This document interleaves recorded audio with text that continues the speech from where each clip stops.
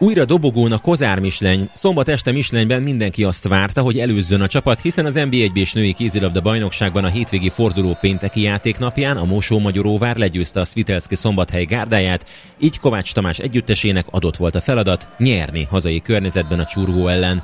Ez közel sem ment annyira könnyedén. Az első fél időben egyszerűen nem találták a játékritmusát a hazaiak, sok volt a hiba, és nem jöttek a gólok. Ebben az időszakban a csurgóiak akarata érvényesült, aztán ha nyögve nyelősen is, de kezdtünk megérkezni a mérkőzésbe, és átvette a vezetést a kék-fehér alakulat. Az előnyt nem sikerült megtartani a szünetig, 11-11-es eredménynél vonultak pihenőre a csapatok.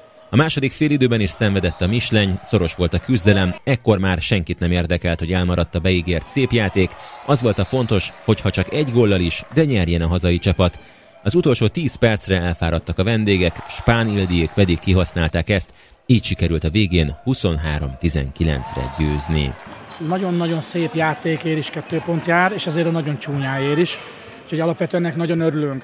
Nagyon örülök annak, hogy rossz játékkal is sikerült begyűjtenünk a két pontot.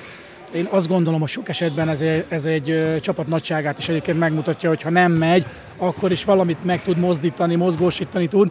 Ezúttal én azt gondolom, hogy azt tudtuk megmozdítani, hogy akaratba tehát nagyon akartuk a győzelmet, és talán ez a védelemben a második félidőnek a utolsó negyed órájába jött ki, hogy, hogy igazából ott már jószerével láthatóhatatlanná tettük a, a falat, belekényszerítettük az ellenfelet olyan védelmi, olyan támadásbeli hibákba, amik, amikből labdákat szereztünk. Az nagyobb probléma, hogy ezekből utána mi rendszeresen visszaadtuk neki, kidobtuk oldalra, technikai hibák, és mind olyan szituációban, ami nem is volt indokolt, hogy ilyen legyen. Úgyhogy összességében nagyon örülök, de azért ez, nem ilyen játékokat akarunk mutatni ennek a csodálatos közönségnek. De mégis ezzel mi történhetett? A teher nyomta a csapatot? Lehet, igazából nem, nem tudok másra gondolni, mert jól edzettünk, oda, tehát nem, nem, nem, más indokot nem tudok, szerintem ez lehetett a baj. Lényeg a két bajnoki pont dobogóról várjátok a folytatást. Így van, hát ugye ezzel akkor most előztünk egyet, és most azt beszéltük meg a lányokkal, hogy innentől kezdve azt a harmadik helyet nem akarjuk visszaadni már senkinek.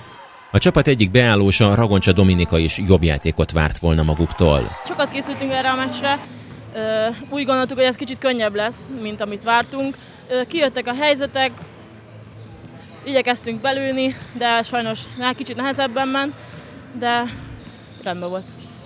Meglepett titeket az ellenfél?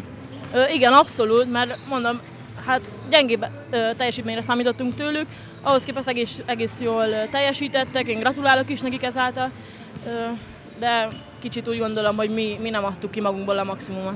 A pénteki eredmény mennyire ö, nyomta a vállalatokat ez a teher, hogy felugorhattok a dobogóra. Azért lélektanilag ez nagyon fontos, hogy tudtatok, hogy ma mindenképpen nyerni kell. Nagyon örültünk neki, hogy így alakult, és ez, ennek szellemében léptünk pályára, hogy ezt mindig elérjük, hogy fellépessünk arra a harmadik dobogóra.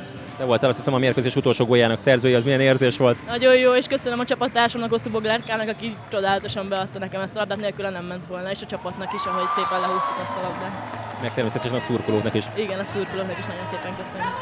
Ezzel a nagyon fontos győzelemmel a saját kezébe vette a sorsát a csapat, folytatás majd szombaton a szombathelyi haladás otthonában. Hajrá Misleny!